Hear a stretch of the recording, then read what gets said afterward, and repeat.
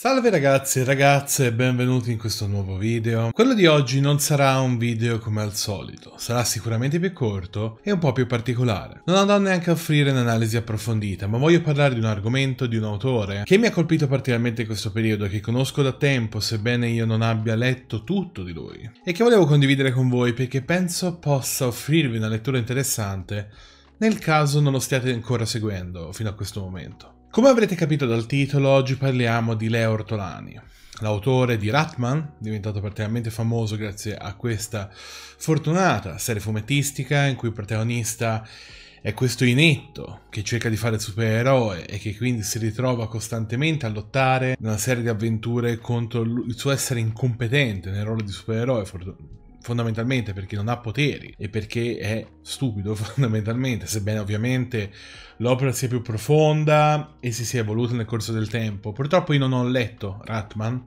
avevo iniziato a leggere la serie, credo aver letto tipo i primi 20 numeri ma non ho avuto la possibilità ancora di recuperarla. È una di quelle serie che vorrei avere cartacea. L'ho letto finora perché mi prestavano i fumetti. Vorrei averla in un prossimo futuro e aggiungerla alla mia libreria in modo da farmi una lettura completa. E questo è anche uno dei motivi per cui sono sempre stato un pochino riluttante a fare questo video. Era già un po' di tempo che volevo parlare di Ortolani, in particolare parlare dell'opera su cui ci concentreremo oggi, però il discorso era come faccio ad analizzare un'opera, come faccio ad analizzare un autore senza conoscere la sua opera magna, posso effettivamente permettermi di parlare di Ortolani pensando di poter comprendere la motivazione e i messaggi che vuole celare dietro la sua opera senza conoscerlo pieno. Per questo motivo voglio mettere questa come premessa. Quello che voglio fare, come sono solito fare in realtà, è offrire il mio punto di vista, offrire quello che mi ha lasciato la lettura di una particolare opera di un particolare autore e credo che talvolta non conoscere l'autore e non conoscere la sua opera magna ci permette di vedere molto di più di noi stessi all'interno dell'opera che leggiamo, perché invece di andare a vedere il dettaglio, la tecnica che ha l'autore nella scrittura nel disegno,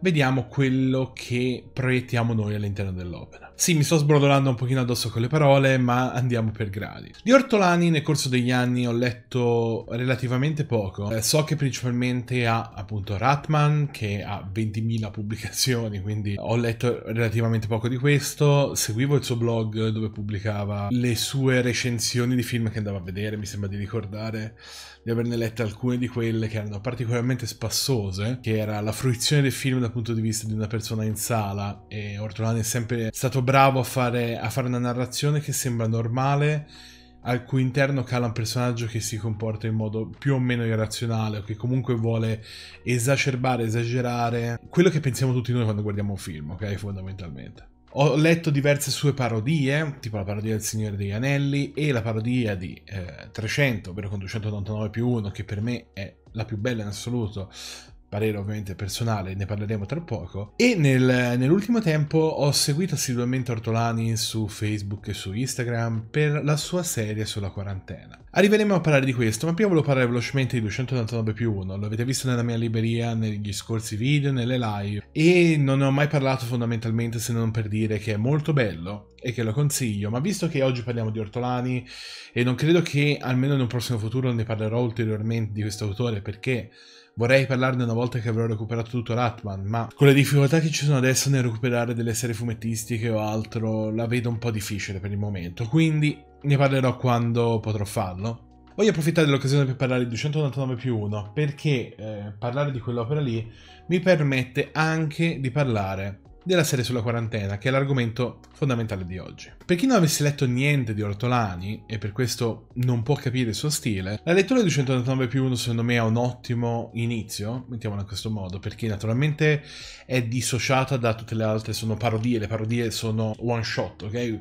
Opere autoconclusive. E ne ho lette diverse di queste, e 299 più 1 mi ha colpito particolarmente perché per tutto il, l'albo, per tutto il fumetto, Ortolani riesce a farti sorridere, a mantenere un sorriso genuino senza forzare delle battute che possono essere grette come è possibile trovare o che possono essere recepite solamente dal, dal pubblico del web per esempio o comunque essere settoriali in quel senso. Sono delle battute che possono far sorridere chiunque apprezzi l'umorismo di Ortolani ovviamente per poi arrivare alla fine dell'albo in cui eh, Ortolani prende una sedia di quelle pieghevoli eh, del, della WWE e te la, ti ci massacra la schiena tanto che avrei bisogno di un chiropratico al più presto. C'è un motivo ragazzi se infatti mi lamento spesso del mal di schiena, è perché 299 più 1 che rileggo spesso con grande gioia mi devasta l'animo ogni volta che lo leggo. E l'ho riletto anche poco fa, infatti quando ho iniziato il video avevo ancora gli occhi lucidi perché sono pronto ad ammetterlo, 299 più 1 ogni volta che lo leggo mi fa piangere mi fa veramente lacrimare, non mi fa piangere a singhiozzi, quella è una cosa che uh, si tiene nei film a Chico, ok? O Coco, sono due cose che mi fanno piangere a singhiozzi, ma Ortolani non ha bisogno di fare questo e non ha la necessità e la volontà di fare questo. Ortolani vuole farti sorridere per poi farti arrivare quel magone finale che funziona benissimo. La storia di 189 più 1 è presto detta, ricalcando tra l'altro lo stile dell'opera originale che si presta benissimo come contrapposizione rispetto a come viene disegnato il protagonista e lo stesso stile di Ratman. La storia gira attorno a questo piccolo spartano che si unisce alla guardia di Leonida nella battaglia delle Termopili contro i persiani, penso conosciate tutti la storia di 300 anche per via del film, se non per il fumetto in generale. E ovviamente è inadatto a partecipare lì, è inadatto perché è pavido, è inadatto perché non ha la prestanza fisica per poterlo fare, e perché è stupido. Fondamentalmente sono le tre caratteristiche che spesso si ritrovano nei personaggi di eh, Ortolani, anche se eh, l'essere pavido, quindi avere paura, è una cosa che in genere viene affrontata nel corso dell'opera, cioè il protagonista eh, dimostra di essere un vigliacco sotto certi punti di vista e di essere molto legato a dei desideri molto materiali, ok? Non è un, un eroe senza macchie, senza paura, ma è anche un eroe che lotta contro la propria codardia, un eroe che, nonostante questo, va volontario in guerra, segue Leonida nella battaglia delle Termopili. Non farò spoiler diretti su cosa succede all'interno di quell'albo perché vi invito assolutamente a leggerlo. Per chiunque l'abbia letto sa benissimo qual è il momento in cui mi fa lagrimare, in quel momento in cui la commozione arriva prepotente all'interno della mia vita. E ci sono una marea di dettagli all'interno dell'opera che sono veramente belli. Il momento di commozione finale è costruito per me a regola d'arte perché non è il momento Pixar in cui viene introdotto un personaggio che o una sequenza che vuole eh, volutamente farti piangere in modo diretto e talvolta anche crudo, ok? Non che sia la Pixar faccia cose particolarmente violente o altro, ma crudo nel senso di non raffinato, semplicemente la, eh, sanno che una persona piange messa di fronte a una determinata situazione e utilizzano quella situazione. Nel finale di 239 più 1 lo humor e il, il dramma, la tragedia sono dosati in maniera tanto sopraffina da eh, avere un crescendo di commozione che avviene all'interno di alcune battute che io non posso dire, ma lo dirò, anzi facciamo così, allerta spoiler. lo devo dire perché non dirò il finale completo, ok? Ma dirò la battuta che per me dà inizio a questa slavina, ok? Di, di commozione che poi termina alla fine. C'è questa battuta all'interno di questa sequenza di scene che in realtà uh, te cominci già da prima a avere un pochino di magone, ma quella battuta lì, secondo me, è la ciliegina sulla torta. Ecco, la battuta è questa, all'interno di 299 più 1, e viene detto che ai bambini spartani viene regalato un sasso per compleanno da parte dei suoi parenti, eh, perché non devono essere viziati, perché sono, devono essere persone dure e crude. E per questo motivo si vede il compleanno del protagonista in cui la mamma gli dà un sasso, la nonna gli dà un sasso, e poi quando arriva il momento del nonno, eh, lui non ha un sasso, gli dice non ho avuto tempo di prendere niente. La mamma dice ma il bambino ci è rimasto male, lui lo viziate troppo con tutti questi sassi. E poi se ne va a lanciare bambini dalla rupe perché è una delle caratteristiche dei, degli anziani di Sparta. No? E te vedi questa cosa qui all'inizio, ok? Lo vedi, viene detto semplicemente nelle prime fasi quando viene descritta l'infanzia degli Spartani del protagonista. E alla fine, quando eh, il protagonista si ritrova a proteggere il corpo di Leonida, um, i persiani lo attaccano con frecce e sassi, lanciando questa, questa selva di frecce e sassi, e la, la, frase è quando la prima pietra mi colpisce sorrido perché penso sia il mio, il mio nonno. Qualcosa del genere. E te sei lì che ti arriva questa cosa qui alla fine di tutta la, uh, la sequenza perché lo humor non sparisce mai, ok? Però diventa mordace in quel frangente lì, diventa mordace con lui eh, che arriva il generale nemico e gli dice ah Dio Nanos e lui salutamelo e, e diventa quindi molto più eh, secco rispetto a come era rappresentato prima. Prima erano battute quasi nonsense, stupide portate del protagonista. Raggiungono l'apice con quelli che portano la pizza, per dire. E in quel momento invece diventa molto più snapping, mi viene in mente il termine, cioè diventa molto più incisivo eh, lo, lo humor. E si mischia questa commozione che per me alla fine ogni volta mi ritrovo lì a fare questo era 289 più 1, ok? Una brevissima recensione.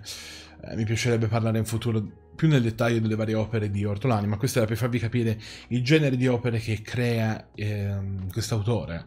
In genere crea delle opere in cui viene raccontata una storia, appunto, in cui si trova una persona inadatta in una particolare situazione, in cui si gioca sia sullo humor che fare questa sorta di risata amara, no?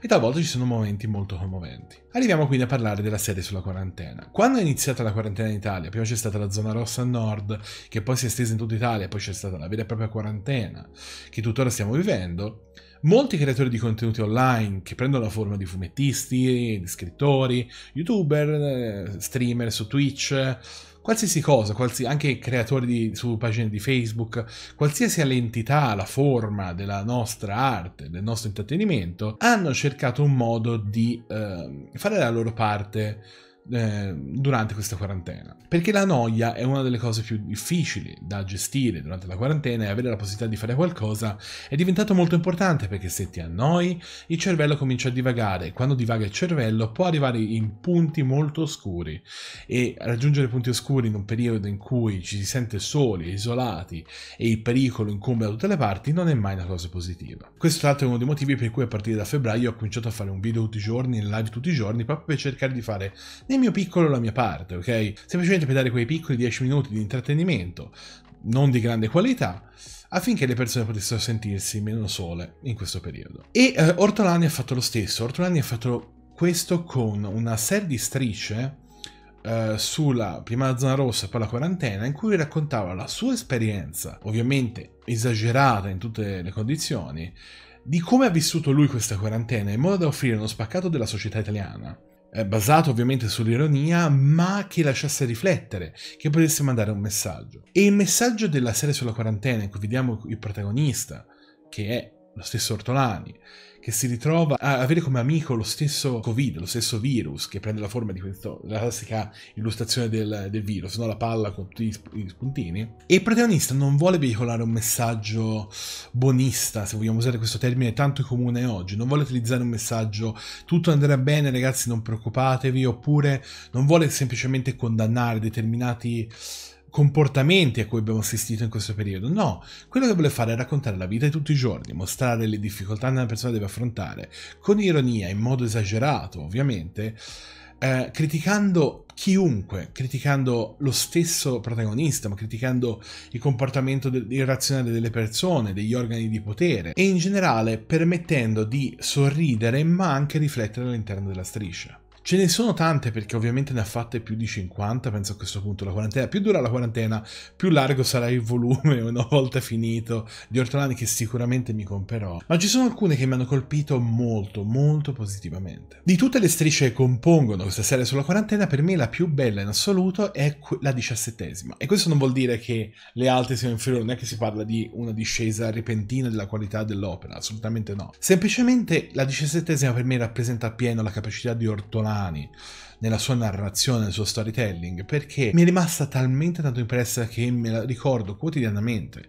da quando stiamo vivendo questa quarantena, perché è una striscia che ti fa sorridere, ma che poi ti lascia un amaro in bocca, che non è facile da descrivere, perché non è un amaro dettato da una sensazione di ansia o di panico eh, che ti ha lasciato la striscia, assolutamente no. Semplicemente è una sensazione di agrodolce, ti viene dato quando ti viene messa di fronte una verità amara che però fino a quel momento non avevi visto, che non volevi vedere, ma che una volta che hai visto non puoi più ignorare. E per questo motivo tanto vale accettarla e cercare di sorriderci sopra. Quello che vuole fare Ortolani in questa vignetta ve la, ve la, riporto velocemente, è scritta in dialetto, però è facilmente comprensibile secondo me. E parla, praticamente Ortolani vuole rappresentare questo picco come una montagna, no? Il protagonista vuole raggiungere il picco e quindi comincia a scalare questa montagna seguendo gli insegnamenti del Tony, Tony, non so come si legga, cioè T, O con due punti, Ni, che gli dà dei consigli sulla scalata, sulla situazione attuale della quarantena, bla bla bla. E quando arriva in cima a questa scalata, quando lui deve scalare effettivamente il picco per raggiungere il picco, gli dice quando arrivi in cima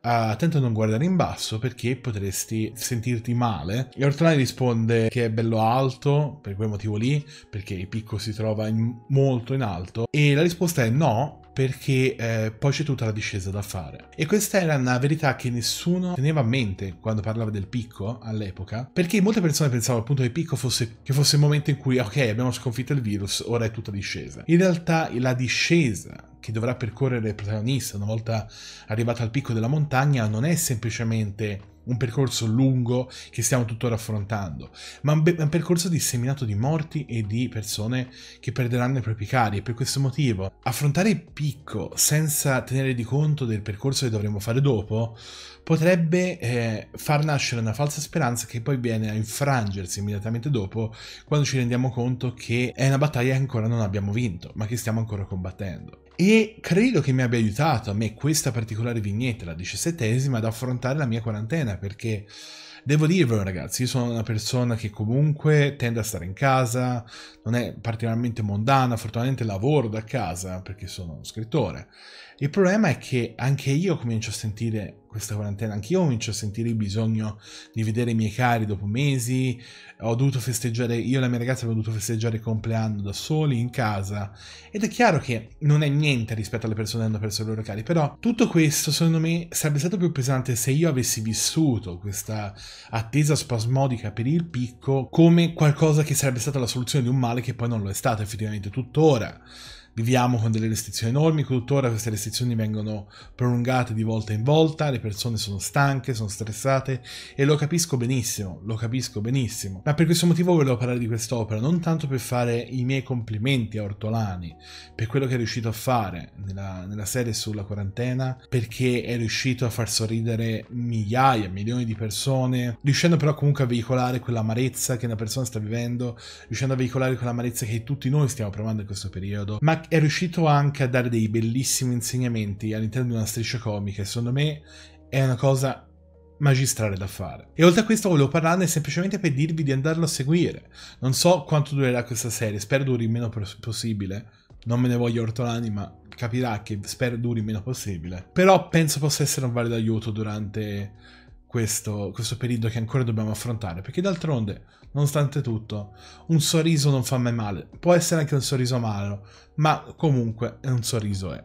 Sì, questo è un video un po' diverso dal solito, so che è un'analisi piuttosto sommaria, però non voglio dirvi le varie strisce, ce ne sono diverse che apprezzo particolarmente, alcune sono più satiriche di altre, alcune sono semplicemente strette al cuore, alcune sono una risata gustosa, altre no. Diciamo che in generale l'opera non, eh, non, segue sempre lo stesso filone, è in base anche a quello che sente l'autore in quel periodo e si sente, si sente che è una specie di diario di guerra, però è un diario divertente da leggere, come quello di Franco. Quindi vi consiglio di leggere Ortolani, vi consiglio di leggere questa storia qui, vi consiglio di leggere quella storia lì, vi consiglio di leggere un po' tutto di Ortolani. Capirete immediatamente se il suo tipo di umorismo fa per voi, sono convinto non possa fare per tutti, non è così universale.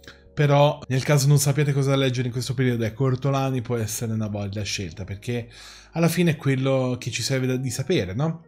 che eh, il protagonista è una persona incapace, una persona che, che, può essere tutti noi perché in tante cose noi falliamo, in tante cose non riusciamo, però nonostante questo continua a provarci e così anche noi, anche se ci sentiamo particolarmente giù, anche se ci sentiamo privati della nostra identità di esseri umani con l'incapacità di poter parlare con gli altri, anche se Sappiamo che la battaglia sarà ancora lunga, che non potremo riabbracciare i nostri cari, dovremo tenerci comunque a distanza di sicurezza, che non potremo soffiare le candeline sulle torte tutte insieme. Nonostante tutto questo, sapere che c'è persone che hanno morso la polvere come noi, ma che continuano a provarci, nel bene e nel male, può essere solamente una cosa positiva. Grazie a Ortolane per i sorrisi amari, grazie a tutti voi per aver visto questo video.